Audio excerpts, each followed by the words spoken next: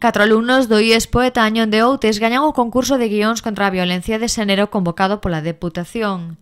A Deputación da Coruña celebrou esta mañá o ato de entrega da primeira edición dos premios do concurso de guións contra a violencia de xénero, ao que se presentaron 17 traballos. Os gañadores foron catro alumnos do IES Poeta Añón, co traballo titulado Convidados de Pedra. Os autores son Antía Villar, Melisa Lado, Luis Mayo e Alberto Rodríguez, que contaron coa docente Manuela Campos Agrafojo como titora. O xurado elixiu o traballo gañador por unanimidade e destacou a súa calidade técnica, a originalidade traballando nunha estea dentro doutra e a importancia da mensaxe de concienciación social e impacto, así como a viabilidade de execución.